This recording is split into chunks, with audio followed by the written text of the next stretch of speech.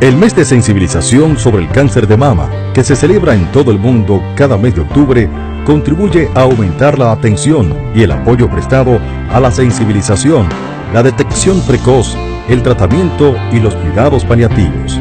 Cada año se producen 1,38 millones de nuevos casos y 458 mil muertes por cáncer de mama. El cáncer de mama tiene incidencia tanto en mujeres de países desarrollados como en los países en desarrollo. Los conocimientos actuales sobre las causas del cáncer de mama son insuficientes, por lo que la detección a tiempo sigue siendo la piedra angular de la lucha contra esta enfermedad. Mujer dominicana.